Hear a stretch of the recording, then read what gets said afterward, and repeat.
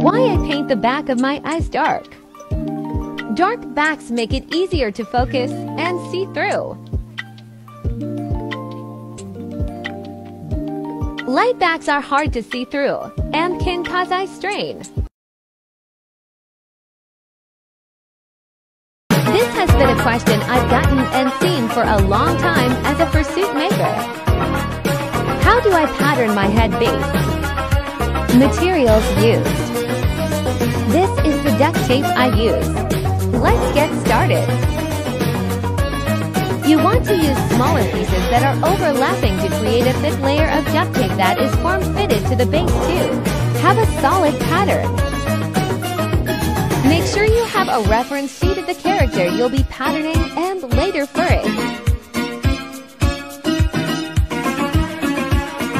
Make sure to label the color, fur direction, if the piece will be pre shaped, and where the connection points meet up when all sewn together.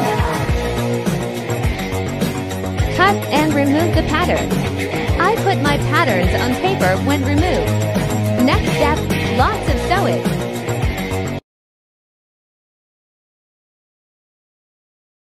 Four more fursuit making tips that have helped my blood pressure go down. Using pins instead of clips. Hear me out. You can get a lot closer to pins without having to remove them. Therefore, the fabric has less time to shift and warp as you're trying to sew it. Especially useful for seams that go around in a full circle, like armpit seams. Only use coil zippers. I've had one too many teeth zippers break on me, and I've seen others that just sort of sag over time. Wash your glue gun very thoroughly before you even think about going anywhere near white fabric.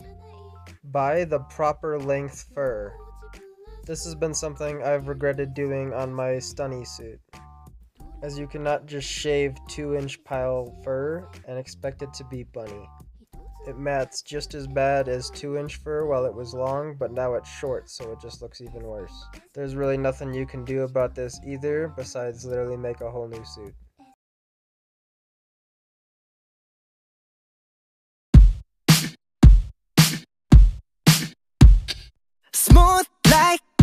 Like a criminal undercover. Don't pop like trouble, breaking into your heart like that. Cool shade stunner, yeah, owe it all to my mother. Hot like summer, yeah, I'm making you sweat like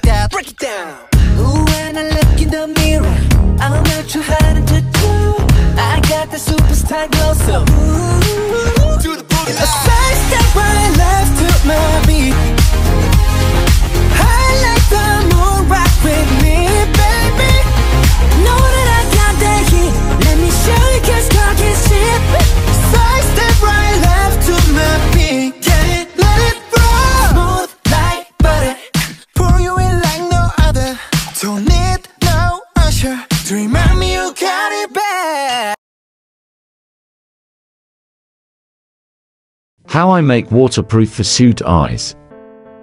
First I tape over the head to get the shape of the eye.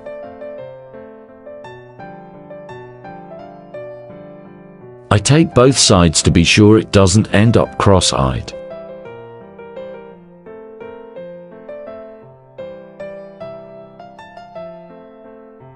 Then I cut it out and use it as a stencil. Paint paint.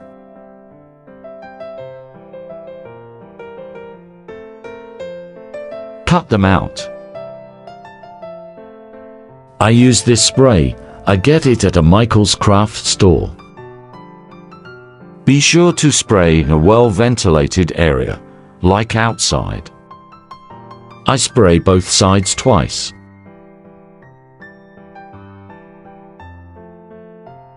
Glitter.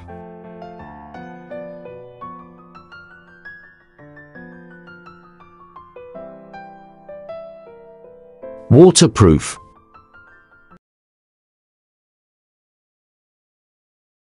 I helped bring a client's kitty back to life.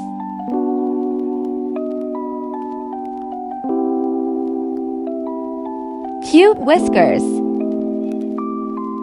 Mouth details. Sassy eyelids.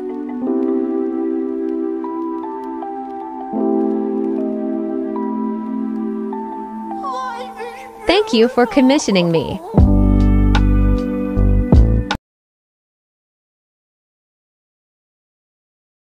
Hey guys, today this suit is getting some hair. I'm gonna try and go for something a little bit edgy, maybe going over the eye a little bit and sort of layered and cool looking. I have this Flocati fur from Howl Fabrics that is 4 inches long. It's super wispy, it has a great backing, and I'm super excited to be working with this. First I'm starting with a base layer. This layer will be a lot wider than any of the other pieces that I will layer on top, so I got that traced onto this piece of fur and I'll show you what I'll do next.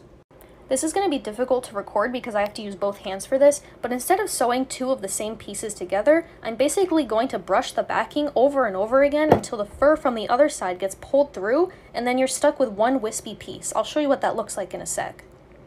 Here's the same piece after one minute of brushing. I'm going to keep going a little longer. I'm leaving just a little bit unbrushed towards the top just so I have something to sew onto. I'll be making a part 2 where I add more layers. It's already looking super cool.